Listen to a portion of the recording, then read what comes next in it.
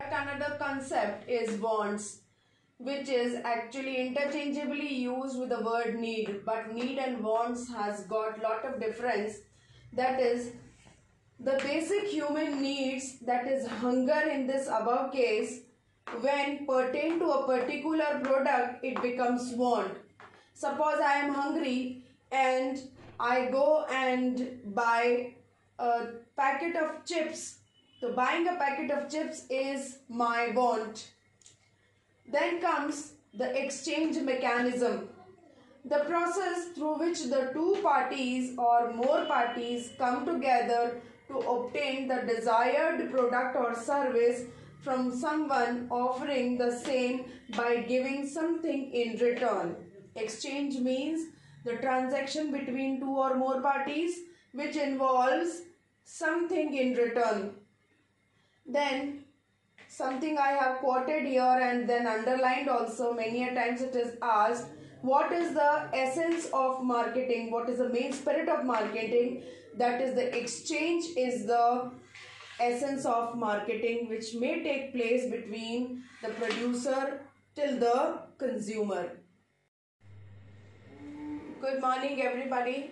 Today we are going to start our new chapter chapter 11 marketing management the weightage of which is approximately 7 to 8 marks by completing this particular chapter, we will be able to complete 30 marks weightage for our course. Let us begin with some basic terms of marketing management. The first is market. Traditionally, what the market was assumed to be, that is a place where the buyer and seller gather to enter into a transaction involving the exchange of goods and services. But in the modern concept, the market is nothing but the set of the actual or potential buyers of the product or service is known as a market. It has not got the limitation due to the ge geographical area.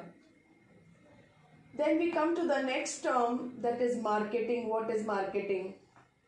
People misconcept this particular word with shopping or only selling as marketing. But actually in the modern sense what the marketing is it starts from the product designing its packaging warehousing transportation branding labeling selling advertising pricing.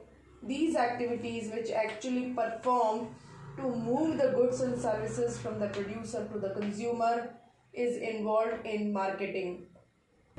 Thus, marketing is not a post-production activity means not after the product is produced but it starts much before the production takes place and continues even after the selling to maintain the good customer relation for procuring the repeat sale.